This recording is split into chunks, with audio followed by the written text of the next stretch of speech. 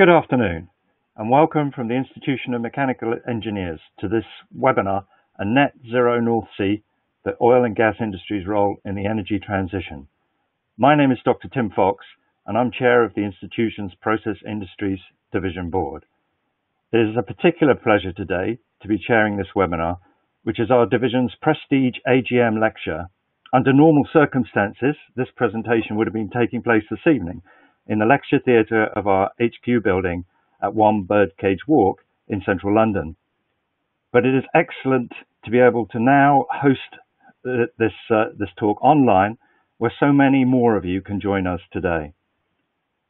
The oil and gas industry is a core area of process industry's work, and it is a pleasure in this regard to be introducing today's speaker on such an important topic. Martin Tulloch is Net Zero Solution Center Manager of the Oil and Gas Technology Center. He leads the center's uh, work and is passionate about ensuring that the oil and gas industry helps enable the transition, transition to a low carbon future. A chartered engineer, he's worked in both the oil and gas and renewable energy sector over the last 20 years and is therefore well placed uh, to give us this insight today into the, uh, the way in which the energy transition can be supported and helped by the oil and gas industry.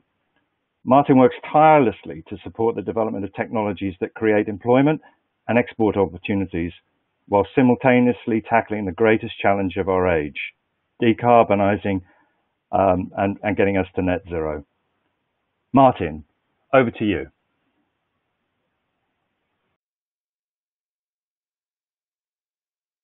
Good evening, everyone. I'd like to start by asking you to cast your minds back 15 years to 2005. Given that it's a US presidential election year, I thought it was um, quite pertinent to include this image. George W. Bush was being inducted in early 2005 in his second term. This man here was one of the rising stars, having just been elected to the Senate, Barack Obama. And I was working for Wood in Aberdeen on a project looking at extending the life of the Magnus oil and gas platform.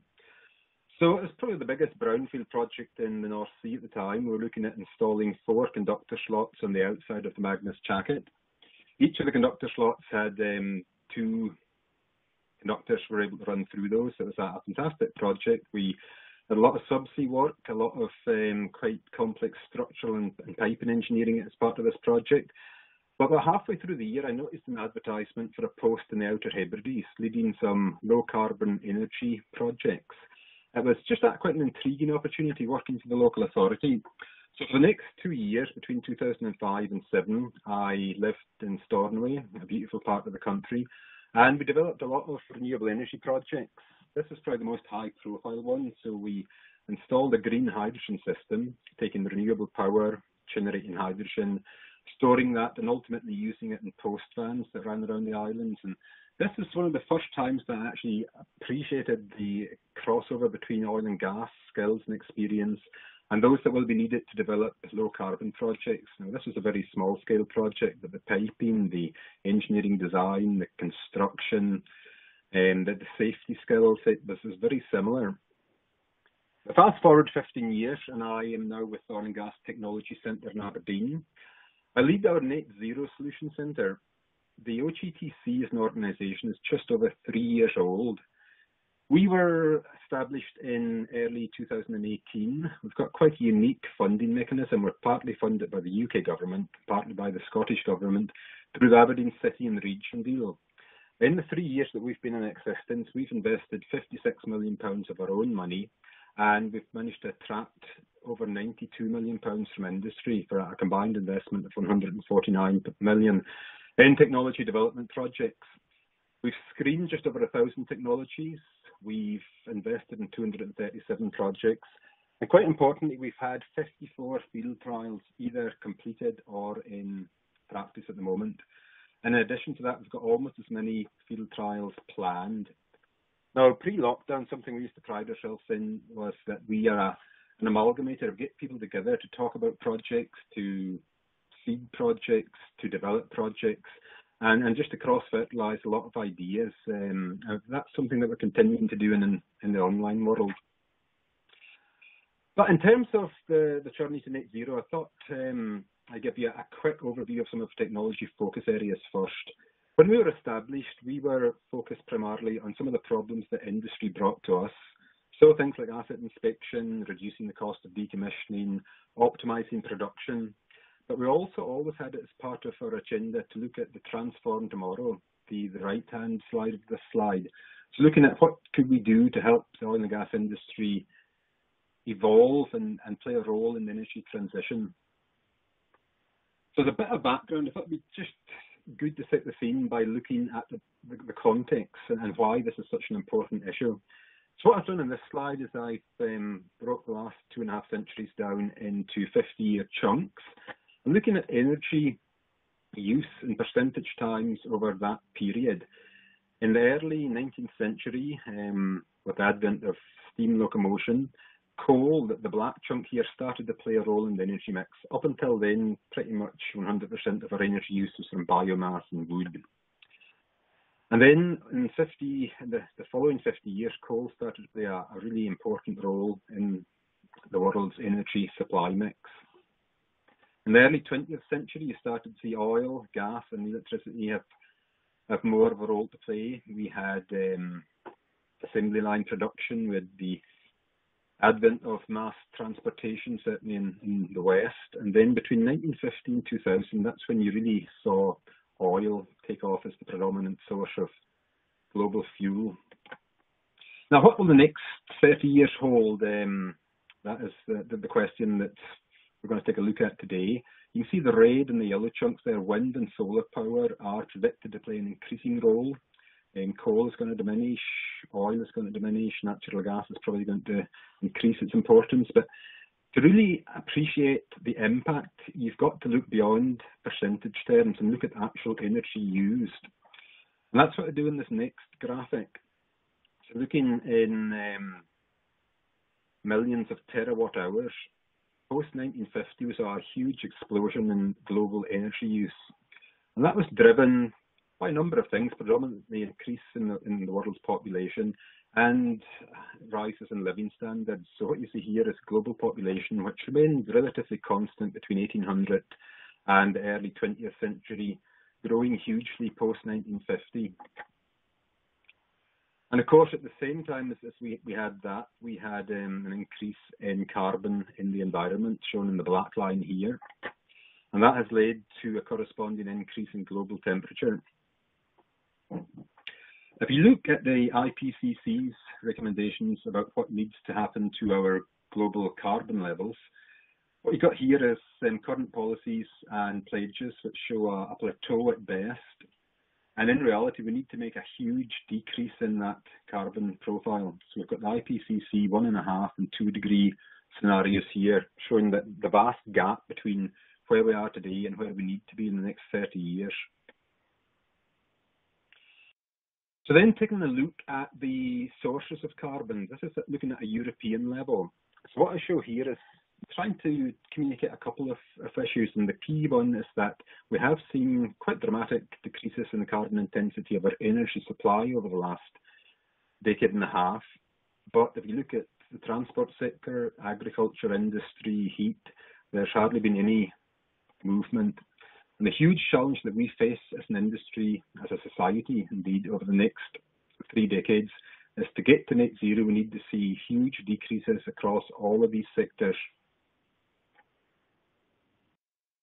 Now, the work that we do in the Oil and Gas Technology Centre's Net Zero group is focused around a number of scenarios, uh, a number of strategies, and one of the foremost was the Net Zero Technical Report published by the Committee on Climate Change last year. Now, this is a fantastic report, um, over 200 pages long. It's supported by a, a, huge amount of analysis, but if you boil it down to its core principles, there's three things that the CCC are recommending that we need to do, three really important things.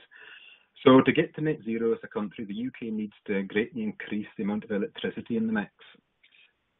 At the moment, we produce just over 300 terawatt hours as a country. We need to more than double that by 2050. And quite rightly, the Committee on Climate Change predict that in the UK, the most cost-effective way to increase our low carbon electricity capacity is to build offshore wind.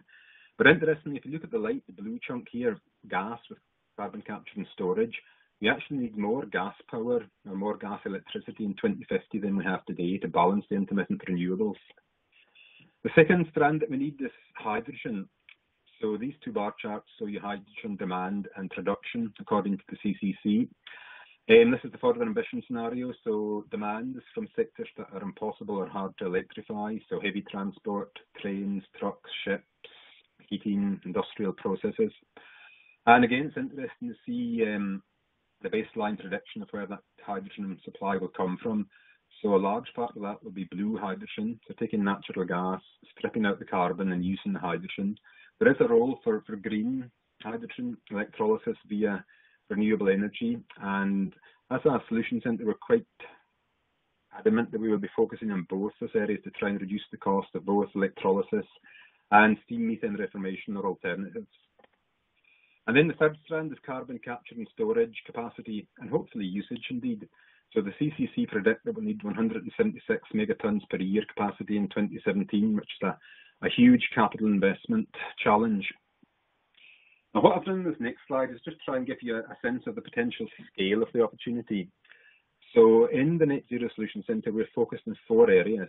We want to decarbonise existing offshore oil and gas production and at the same time look at the potential to develop hydrogen production, carbon capture and storage, and indeed integrate the industry with the offshore renewable sector.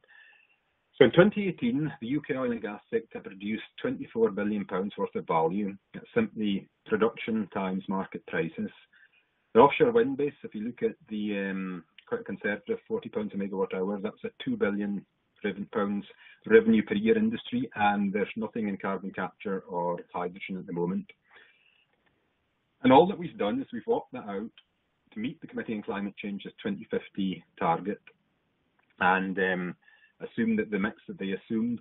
So oil and gas production will decline. 2018 prices will still be producing 11 billion pounds worth of value from the UKCS in a net zero UK Offshore wind, if we get to the 75, 80 gigawatts installed capacity base, that will be roughly 16 billion pounds of revenue opportunity.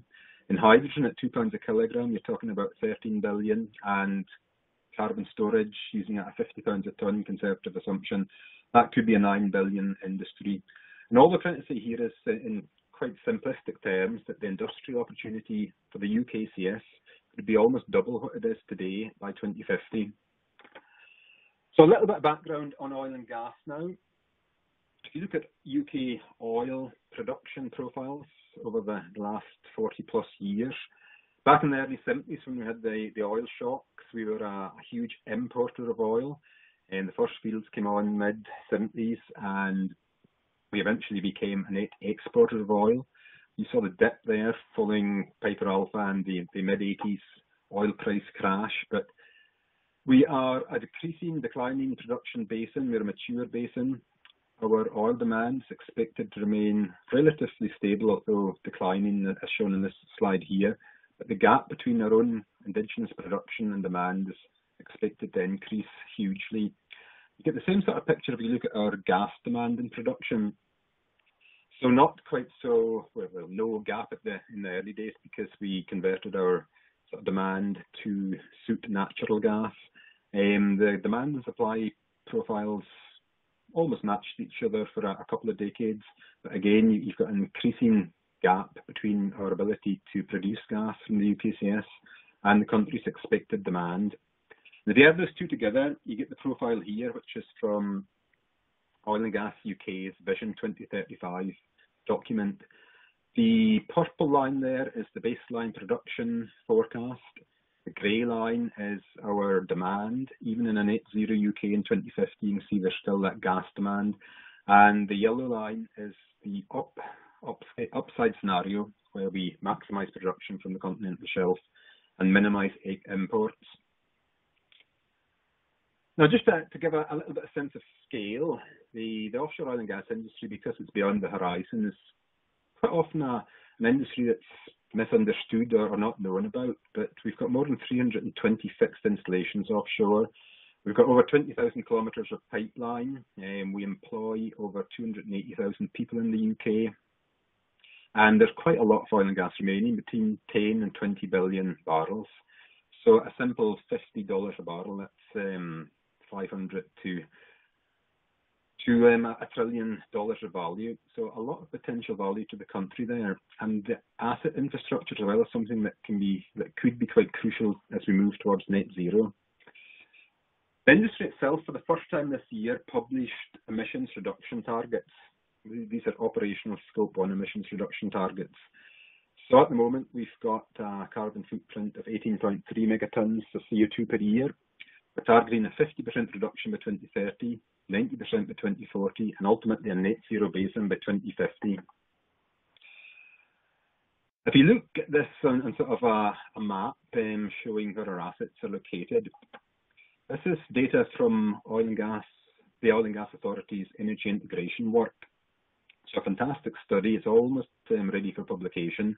This is from a, an earlier sort of phased document that was published late last year. Basically, each of these blue circles represents an offshore installation. The bigger the circle, the greater the power demand. So you've got 2.1 gigawatts of electricity demand in the North Sea alone. If you look at the carbon footprint from that generation, um, electricity offshore is provided by quite inefficient open cycle gas turbines in general sometimes using diesel as a fuel, although ordinarily it's natural gas. Um, if you look at their carbon footprint, it's anything between 13.2 and I think 14.6 is actually the most up-to-date figure. These figures are from last year's data. But what I'm trying to show here is that the carbon footprint offshore is bigger than the carbon footprint of any of the industrial clusters in the UK. It's roughly 3% of the UK's total carbon footprint. If we look where that carbon is generated, the vast bulk of it is from power generation equipment offshore. So naturally, a lot of our focus in the Oil and Gas Technology Centre will be on what can we do to decarbonise that. You also see the blue chunk there, flaring is another big issue. So um, we're focusing on that from a technology perspective as well. Now, I don't want to spend too much time looking at operational emissions, but just to give you a flavour of some of the things that we're looking at, power from shore and electrification is going to be a key tool as we look to decarbonise offshore operations. So there's a number of options there from simply tying into the national grid to incorporating floating wind and various options in between. In addition to that, we're looking at modular carbon capture, which is the technology in the top there. We're looking at potentially using hydrogen or hydrogen blends as a fuel and gas turbines, and maybe also looking at using fuel cells offshore. There's a number of concepts that we're in the very early stage of investigating. But I joined the OGTC in September last year, and before I joined, we actually had a number of projects where we implemented small-scale renewable solutions in the oil and gas sector. So I include two of them here. The one on the left is a wave power buoy manufactured by Ocean Power Technologies. We deployed that on the Huntington field, which was decommissioned, and there was still subsea infrastructure left below the, the, the sea, which um, potentially could have required a guard vessel um, until it was removed. But this wave powered buoy was able to replace that. The one on the right is an interesting technology developed by a, a local company in the northeast of Scotland, a vertical axis tidal turbine that can operate in very low marine currents. So typically tidal turbines target currents uh, between one to two and a half meters per second, but this one can operate on a kilowatt scale in currents of 0.1 meter per second and below, and it's potentially an alternative to a power umbilical for opening and closing valves and doing some niche applications. But I really want to focus on the bigger picture in today's lecture if you look at the remaining oil and gas reserves, um, I show it here on, on the map. We've got a lot of oil and gas reserves west of Shetland in the northern North Sea and in the central North Sea, and some indeed predominantly gas in the southern sector. If you look at the country's offshore wind resource, the map on the left here is probably well known to most of the audience. It's from the UK government work of over a decade ago now basically the darker the colour, the greater the wind resource, and there's some fantastic wind resource in UK waters. We looked more recently, Wind Europe, the trade body, produced this report late last year. And what you see here is the a map that shows how cost effective it could be to harness some of the offshore wind. So basically anything that's blue or dark blue is very low or low cost offshore wind potential.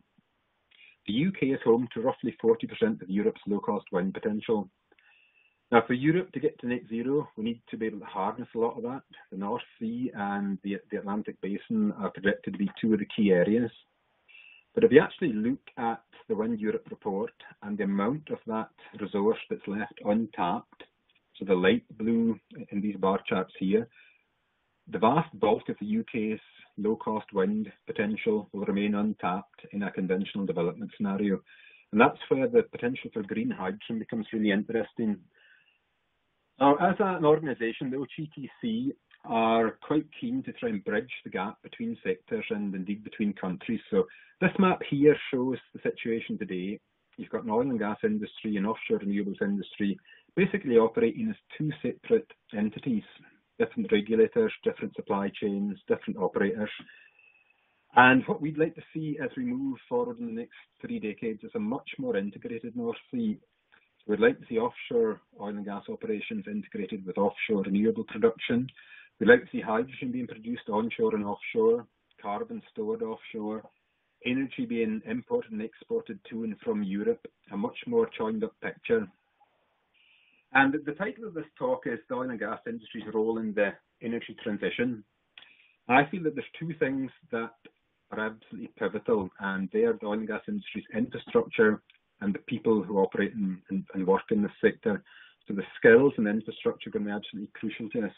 Try to illustrate that in this map here, which shows you the existing gas infrastructure in red, oil pipelines in green, and potential carbon stores.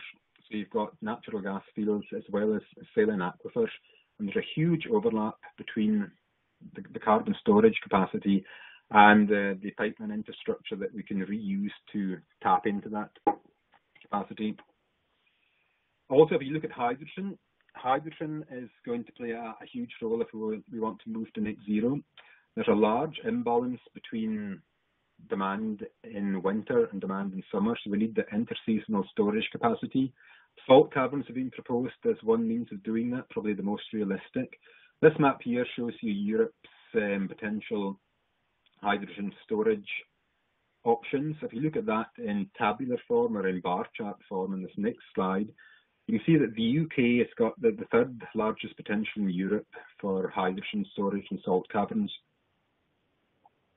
both onshore and offshore. I'd like to move on. Um, I've only got 20 minutes left, so looking at uh, a few more slides. These next couple of slides look at potential production profiles. It's from a piece of work that we've commissioned Wood Mackenzie to undertake, and it's aligned with the, the CCC targets. But basically, we, we already know that oil and gas production will decrease dramatically over the next three decades, but still be a significant industry in 2050. If you look at our demand for wind, we need um, 300 terawatt hours we need 75 to 80 gigawatts of installed capacity. And there will be a huge build out as we try and reach the offshore wind sector deal target in 2030.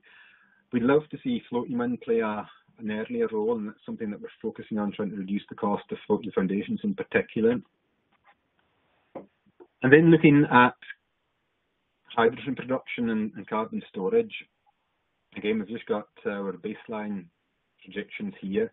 We don't expect to see anything significant for the next five years. There's a lot of planning, a lot of infrastructure development needed, a lot of technology development as well. But come 2025, we need to see a huge build out in the country's hydrogen production capacity if we are to reach net zero.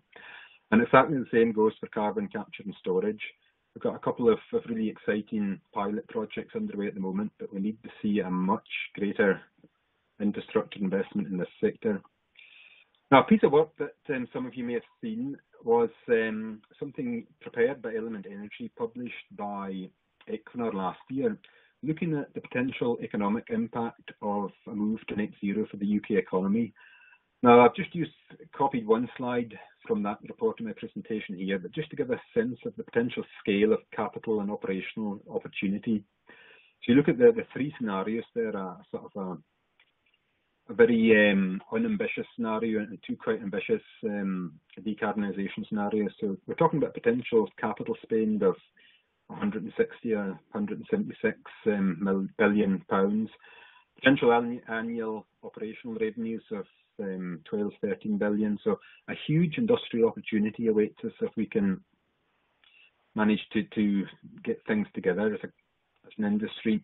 And that's just looking at the UK opportunity. If you look at the European picture, a Clean Planet for All is the European Union's equivalent of our um, Committee on Climate Change report.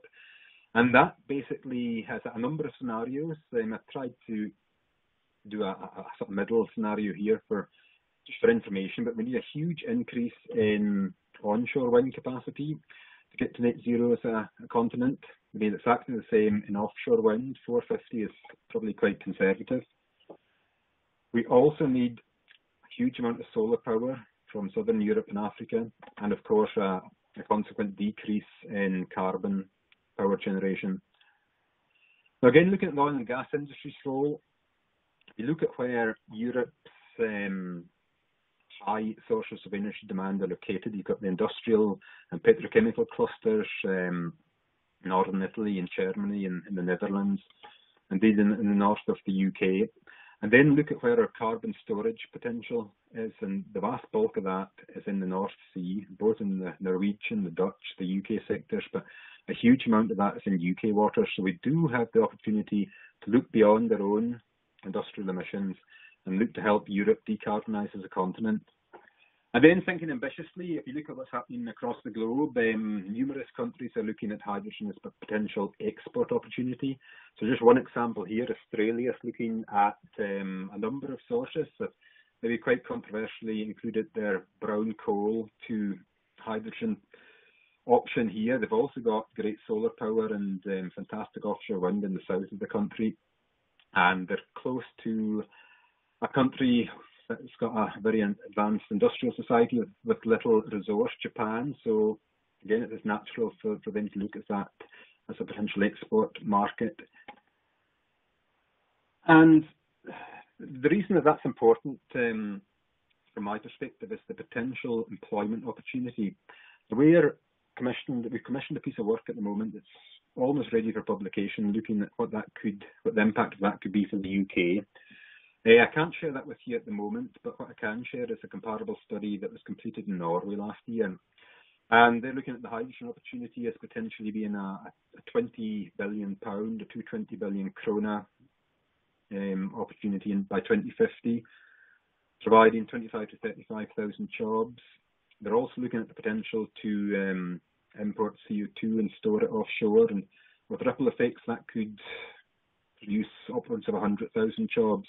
So that's the scale of opportunity that we stand on the cusp of. And if you, if you look at what the impact that that can have on local communities, I was quite fortunate four or five years ago to spend three months as project director on the Haewene Brim upgrade in the Nigg fabrication site in the north of Scotland. That project had a workforce of 1,500 at its peak, 900 on day shift, 600 on nights. And it was fantastic, the buzz that that gave to the local community, the, the, the sense of excitement and um, and also the, the, sense of achievement for the workforce to see that the, the fabrication that they were working on come to life. And that's very similar to what we used to have in the UK from the, the mid-70s onwards uh, across the country in the fabrication yards. So I'll show you the Magnus platform here that I shared in one of my first slides being towed out from the Nigg dock in the, the early 80s and the largest jacket to be installed in the North Sea. If you look at the employment impact from that fabrication era, where we had two decades of significant fabrication work, on this next slide here, sorry for the, the delay there, but in this next slide, you show the work, you see the workforce at the Nigg yard over those two decades and the projects they're working on. So it peaked at almost 5,000 people in the late 70s but a lot of peaks and troughs, a lot of layoffs and rehires. So we need to make sure that we do the energy transition in a much more just and fair manner. So in terms of national impact, I'd like to touch briefly on a couple of projects that we at OGTC are in the early stages of developing. One of the most impactful of those is looking at energy transition hubs. Now, this is a solution that we feel has got huge replicability across the UK. Anywhere you've got great renewable energy resource and a connection to the UK gas grid, you could potentially implement this solution. So everywhere from Sullom Voe in the north down to Milford Haven in, in the southwest, and lots of of um, sites in between. The actual concept itself is based on work that the Oil and Gas Authority are uh, almost able to publish. Um, they had five energy integration concepts as part of the energy integration scope. The most ambitious of those was the energy hub concept in the bottom right here. So basically using a, an onshore site where you can combine oil and gas production with renewable energy, potentially doing power from shore from that site, um, and, and ultimately producing blue and green hydrogen. Our initial focus is going to be in the Shetland Islands. The Shetland is home to the Sullom Voe oil terminal, which has been the reception point for over 40% of the UK's oil over the last four decades. It's a great piece of infrastructure. It's connected to the UK gas grid now.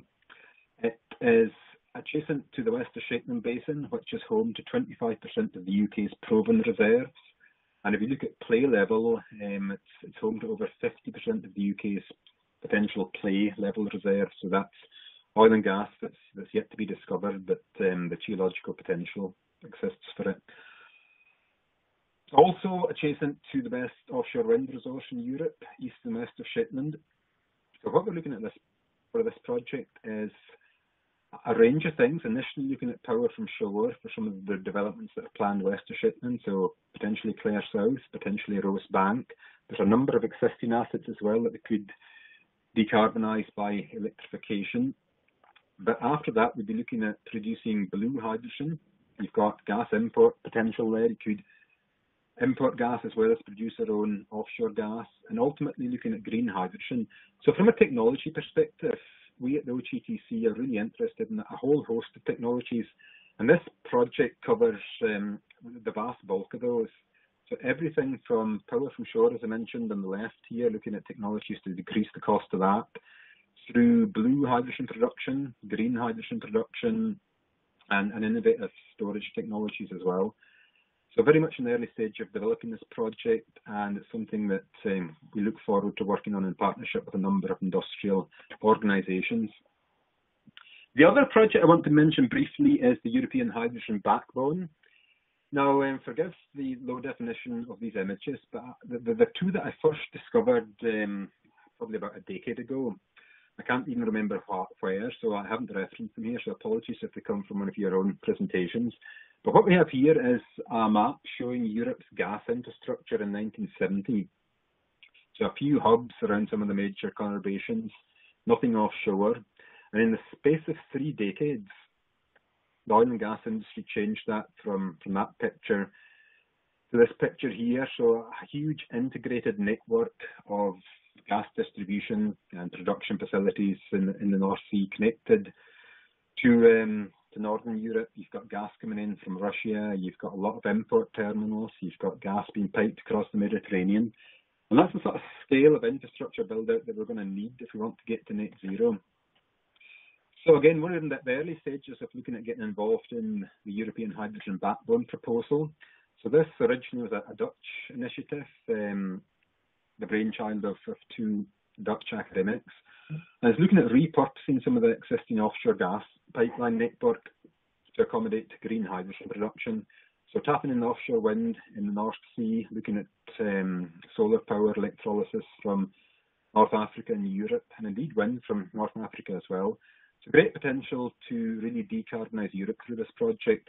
I don't have a lot of time to look at the detail in this presentation, but I would point everyone in the direction of the Green Hydrogen for a European Green Deal, the 2 times 40 gigawatt initiative paper, which gives a an in-depth overview.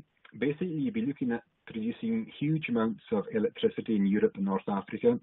You can see some of that going straight into electricity grids, some going into electrolysis from, from wind and solar power. Um, and then you've got the, the, the end use on the right-hand side and some of the losses. So not enough time to cover this in detail here, but just an indication of an early stage projects that we're looking at. Now, before we wrap up, I've only got a couple of slides left, but I thought it'd be quite nice or not nice, but quite important to remind ourselves why this is such an important issue. So this is a, a graphic that really hit home for me from The Economist last year. And it's basically looking at fossil fuel power plants or coal power plants across the globe and the ones that have opened in the last five decades, they're in dark blue. So there's a, a huge existing fleet and of um, high carbon electricity plants. And you look at the scale of the challenge. What I show in this chart here is the UK's energy consumption, consumption in red, Europe's in blue. Again, quite stable, a slight decline predicted over the next couple of decades. And then look at the global picture. So the global challenge is truly enormous. You can see uh, as India's population improves its standard of living, as their middle class, grows, there's going to be a, a large demand for power there. And the same sort of thing happening in, in China and other parts of of the world. So we face as a, a society a huge challenge here, but it's also a huge opportunity. The reason it's important is the impact that climate change is going to have for all of us we talk about the one and a half and a two degree change in average temperature, but if you look into the data and see the impact that that could have on, especially on the, the, the hottest days, so you can see great swathes of southern Europe with a four, five, six degree change in average average temperature on the hottest days in summer. That could make large parts of, of the world uninhabitable. You've also got the impact that it'll have on water from an engineering perspective. I'm a, a chartered civil engineer myself. Um, water supply is a core part of what civil engineers are involved in. Um, we're going to see a large impact on a lot, especially a lot of the poorest people in, in, in the, the world as this water stress increases, and that has a knock-on impact on agriculture. And then if you look at the World Bank's um, projections of which regions are going to suffer most, pretty much all of Africa is going to suffer a, a large decrease in its agricultural productivity, as will India and a lot of Southeast Asia. So then finally, my last slide to try and sum things up. Some of my favourite images taken during the, the Apollo missions of the Earth. And it, to me, it sort of emphasises that sense of adventure and ambition that we as an industry are going to need to meet the challenge of net zero. When I was a, a kid growing up in the Orkney Islands in the north of Scotland, that was a, a, time when a lot of these large projects were being developed. I remember the Shell adverts comparing the Brent field development to the space race, and, and, that really had an impact for me as a schoolboy and was one of the things that was influential in my choice of STEM subjects.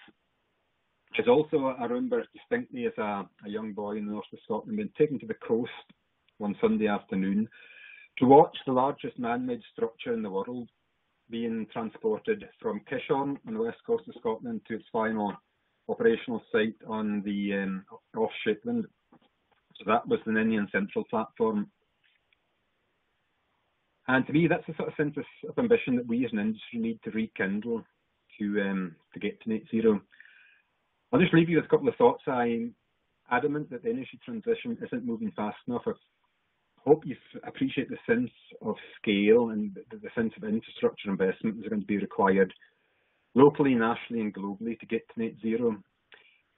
We need a economic mechanism, a carbon price or equivalent to drive that investment. So I think it's really important that we investigate options and, and lobby to make sure that we can implement something. But again, it's the global challenge that ultimately will have to be applied globally. But in terms of oil and gas sector's ability to make a a change here and have an impact. There's three key things I think we can bring to the table. We've got a history of safe operations, which is going to be absolutely essential to build up this infrastructure. We've got a workforce that's skilled and experienced in developing big projects, and we've got that history of technological innovation that's going to be absolutely essential to drive new technologies and to reduce the price point of existing technologies to enable us to reach net zero. So I'd just like to wrap up by thanking everyone very much for um, for attending today. We've got 20 minutes left for Q&A and I very much look forward to your questions, your challenges. I'd, I'd um, welcome any challenges to any of the assumptions that I've made and um, thank you.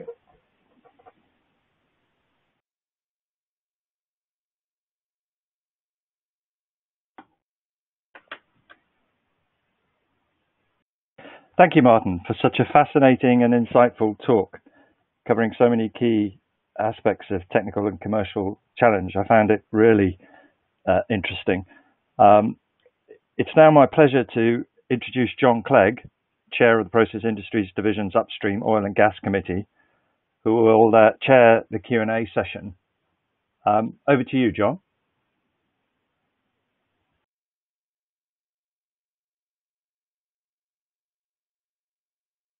Thank you, Tim, and uh, thank you, uh, Martin, for uh, an excellent uh, presentation. We, a number of questions have come in, a number of different topics, and I'll try and get through as many as I can. Um, the, the, the, first one I'll say is that you know during the presentation you, you identified the need for sort of joined up co coordination between um, uh, the existing offshore oil and gas industry and uh, emerging uh, sort of wind, um, sort of uh, green and blue hydrogen.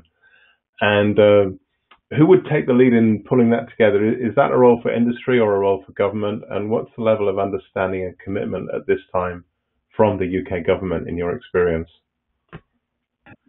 Yeah, that, that's a really good question, Sean. I think um, it's definitely something that's going to have to be a combination of industry and government working together.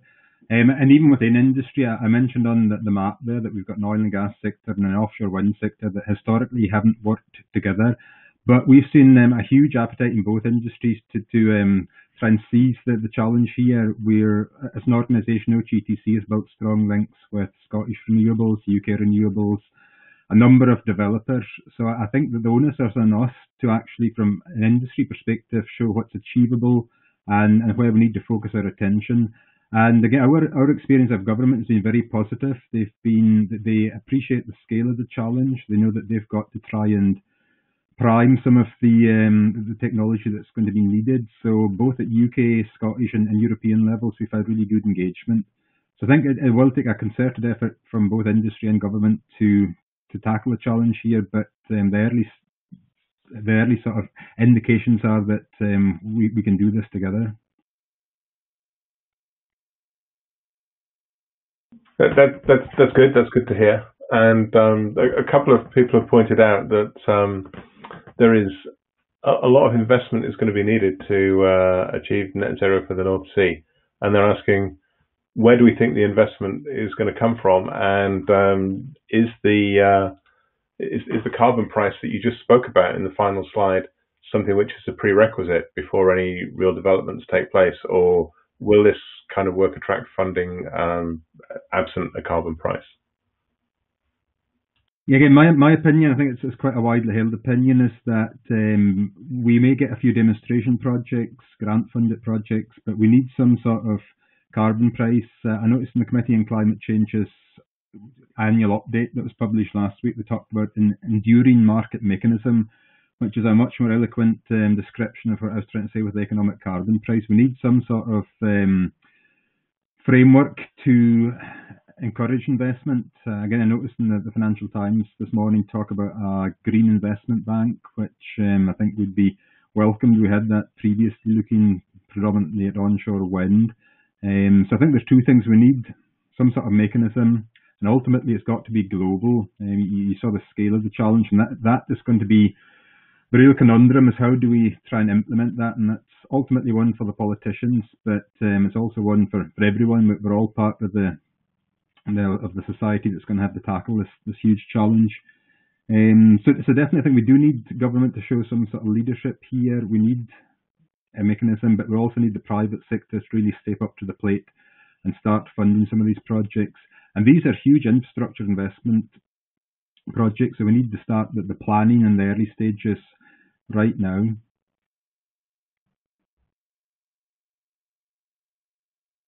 Okay, thanks. Um, and um, I guess sticking with the, the, the theme of the, first question, at least, uh, the existing infrastructure we've got, and you, you, you, talk quite a bit about the existing infrastructure we have in the um, sort of uh, UK sector, you know, sort of platforms, pipelines, vessels, and so on. And how much of that do you think can be repurposed in your net zero 2050 vision? Uh, how much of the existing infrastructure? Yeah, that, that, that's a really good question. Again, I can't give an exact um, percentage for that one, but it's certainly a, a focus of a lot of our work at the moment in partnership with, with industry, with the infrastructure owners and um, the groups that are using that infrastructure. Hydrogen, as, as we're all aware, is uh, it's the smallest molecule. It's got issues with embrittlement of steelwork. So there, there's a lot of challenges. There's a, a lot of potential um, renovation options. We could look at coating pipelines to make them more suitable for hydrogen transport. So again, I, I don't have an answer to that one. We, we do feel from some of the early studies that we've done that a significant proportion of the pipeline network certainly could be repositioned and, and hopefully some of the, the assets as well, the, the fixed and, and subsea assets offshore.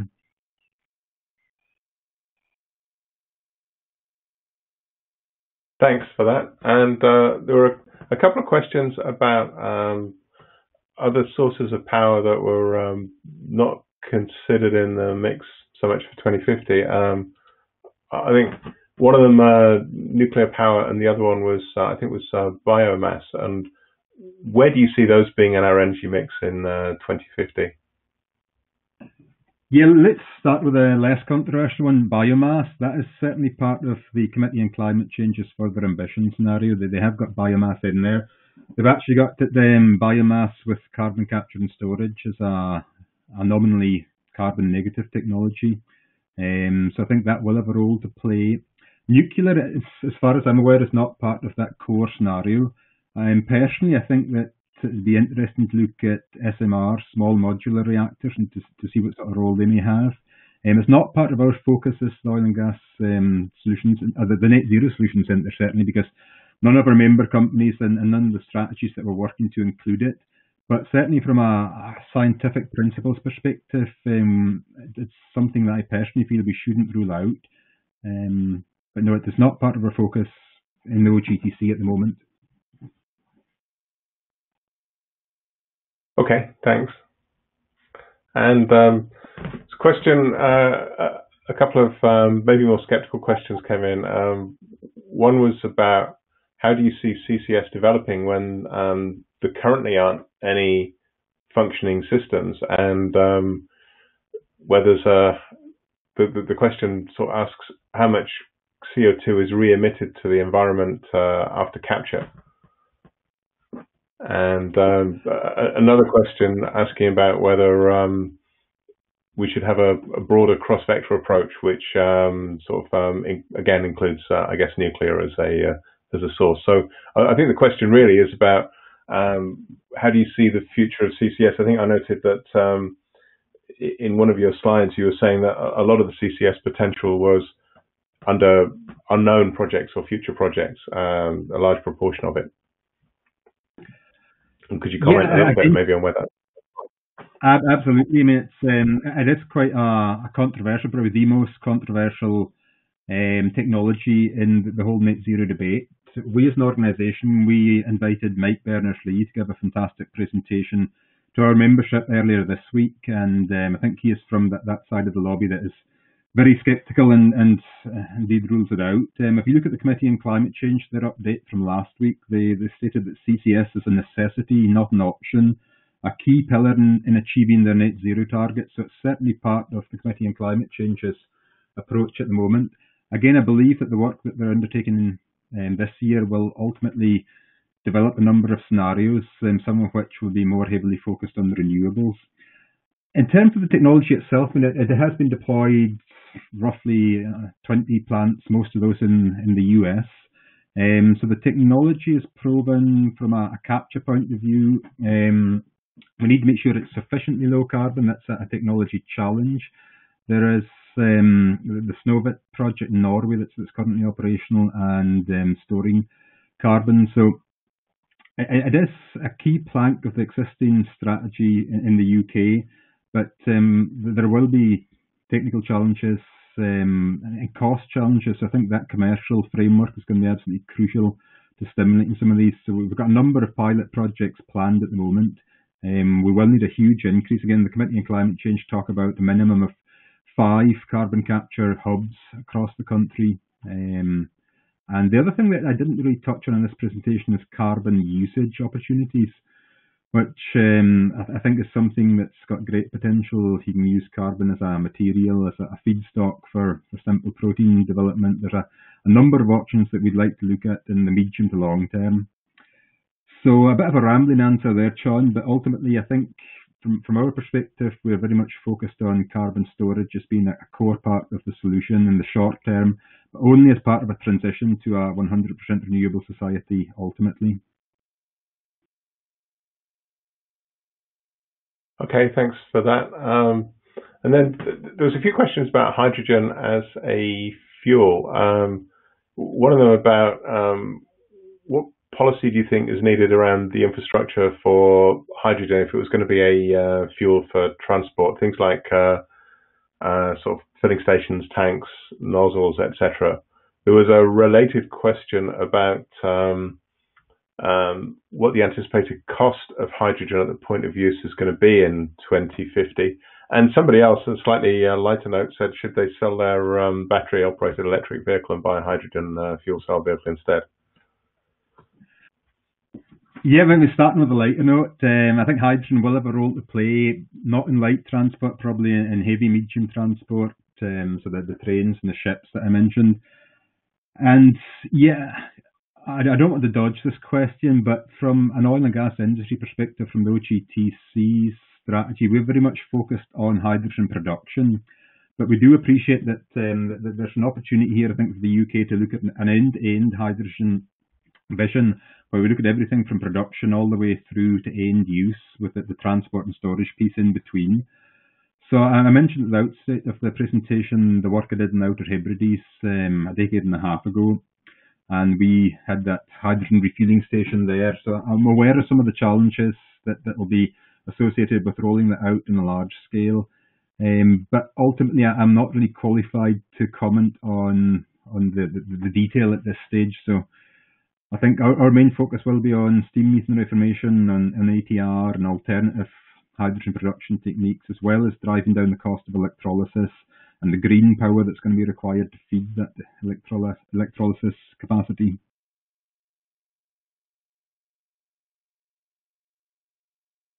Okay. Um, I had a question about, which I guess is a pertinent and timely question about COVID-19 and uh, to what extent is that going to change the roadmap to net zero and the financial capability the, the, question says of the oil and gas sector, but I guess of, of, the whole country to be able to make the needed changes and uh, investment. And I've seen some people very optimistic about um, our exit from COVID-19 accelerating the energy transition, and I've heard people be more pessimistic about, you know, where's the money going to come from? So, what would your answer be there, and, and what's your position on that? Yeah, again, speaking in a, personal capacity, um, a professional capacity as well. We have seen obviously a decline in oil price um, driven primarily by the, the reduction in demand over the last three months. And, and that is that has had a huge impact on the, the oil and gas industry's finances as it has, has had on every other sector of society. So yeah, there's a lot of pain at the moment. There's a lot of projects being postponed and reevaluated in the short term.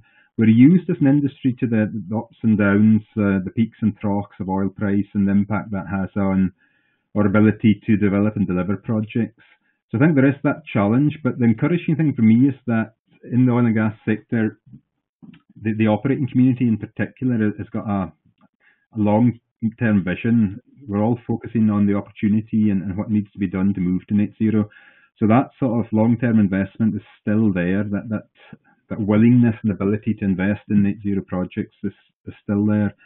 And ultimately, I think as we move out of um, the, the COVID recession, there'll be a big focus on building back better, to use the term that was launched a couple of days ago. And I think that that's an opportunity for us to really look at making sure we make smart investments. We tie the investments in, in infrastructure to um, the net zero priorities and we, we try and make sure that we create just employment opportunity as well. There's a lot of people employed in the oil and gas sector at the moment, a lot of great skills there that are going to be absolutely essential as we build out of of um, the situation we find ourselves in. So I, I do see challenge, but I do see huge opportunity as well.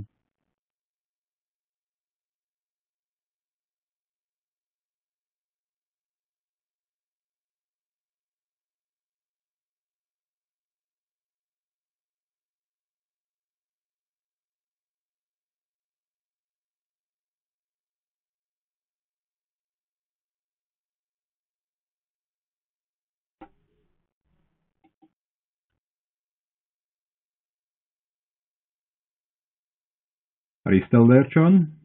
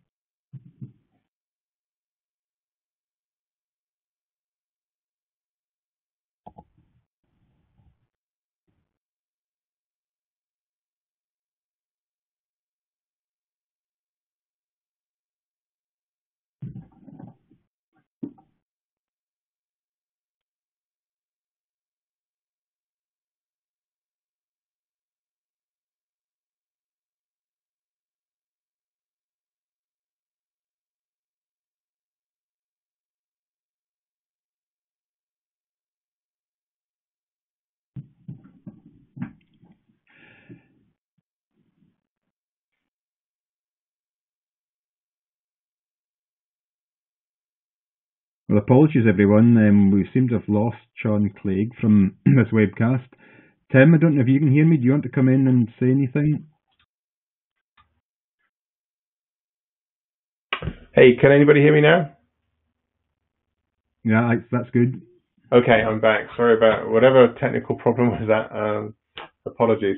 I, I, think the last question I asked you was um, the most recent question was about Brexit and how that uh, is likely to affect our connection to uh, Europe in terms of um, importing and exporting uh, sort of uh, energy, and whether that was. Yes, sorry, I, I didn't. That, that's a really, really pertinent question. Um, I, don't want to comment on the political implications of Brexit, but from a, an energy perspective, from a technical perspective, I think there's still a, a huge opportunity there. I mean, if you look at Norway, Norway is not a part of the European Union; they're part of the ETA, and and they're still a huge energy supplier to Europe at the moment. Um, as Europe moves towards net zero, there will be a, a huge opportunity to provide low carbon power uh, into Europe. We as an organisation are building links with TNO out of the Netherlands, with, with comparable organisations in Germany and France, and indeed a lot of our membership are international companies operating across borders. So I, I see huge opportunity for, for Europe and for the UK to, to make sure we've got a, a net zero supply, and, and also if you look at the potential manufacturing opportunity for European and, and UK companies to manufacture the electrolyzers, the wind turbines, the, the, pipelines that are going to be required to get to net zero, it's quite an exciting and um, a mouth-watering opportunity.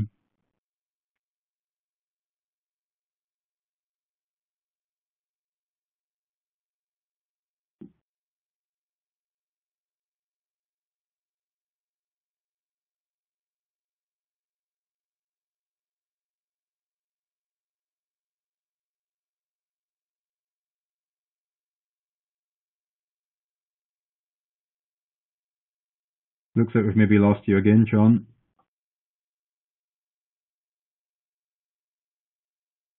Hello. Gotcha. Sorry about the technical issues here. Um, will the stored carbon in the long term become a problem which is um, similar to medium and low level nuclear waste, something we have to live with for, uh, for but we kind of bequeath to future generations? Yeah, that, that's something we've got to avoid, and a lot of the work that we're doing at the moment is focused on um, monitoring and storing and making sure that that carbon will remain in place. Again, if you look at some of the, the places we're looking to store it, um, disused gas reservoirs, for example, that's that's been the that, that's where it came out of initially. So I don't want to gloss over that question. It is uh, one of the most important things that our subsurface team is looking at at the moment. So we've got a number of ge- geologists and technical specialists in the subsurface sector looking at this. Um, but you're right, that, that's going to be something that we need to make sure it, will never be as um, toxic as nuclear waste, hopefully, but we do need to make sure that we deal with that and have all the, the, the science in place before we implement any of these projects. Okay, good. I think we've got time for one final question, and um, this one I, I, I picked this last. There's a whole bunch of questions that people asked that there wasn't time to get through, so apologies to uh, anybody who asked a question that didn't appear. But this one I think is pertinent to the, the, kind of the purpose of the talk, and that is what are the skills that the um, oil and gas industry can bring to and learn from the renewables industry? And uh, I think it'd be good just to finish on uh, uh, just, just looking at what the core skills are that can be exchanged between them. Yeah, ab- absolutely. And um, we're doing a, a, a, little bit of work in partnership with Offshore Renewable Energy Catapult at the moment. So got a good feel for the, the skill sets across both organisations. You've got the project management skills that can be absolutely essential for delivering these projects on time and within budget. You've got not a lot of technical skills there, so the, the subsurface skills that I touched on for carbon storage. You've got the, the mechanical and the piping and the structural skills for actually building this equipment. If we look at the manufacturing capacity, um, a number of the fabrication yards that I touched on, but also the, the, the sort of higher tech manufacturing capability that we've got in the oil and gas sector, there's, there's huge export potential there if we can get this right. Um, you've also got the, the project development, the financial, the environmental skill set that's required in oil and gas. So there's a, an absolutely colossal overlap between both sectors. There's a lot that we can learn from the renewable sector as well in terms of how they've driven down the cost of offshore wind. So really the, the onus is on us on both both industries to work together and to have these conversations and, and start sharing more of the um, the technology that we have developed and, and some of our ideas for future technology. So uh, just, just to close, I've, I've seen a lot of really encouraging behaviours from both oil and gas industry and renewables industry over the last 12 months in particular. So hopefully we can continue that over the next three decades and beyond.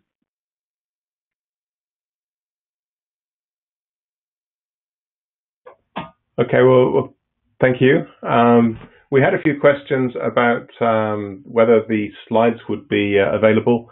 Uh, there will be an on-demand recording of the webinar available to view uh, afterwards.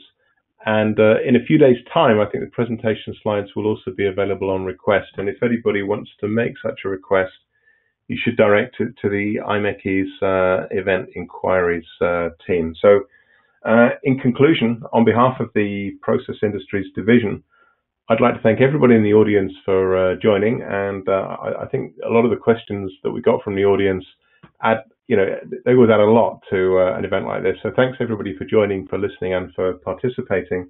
And of course, on behalf of the division, I'd like to thank Martin for uh, putting together an excellent presentation.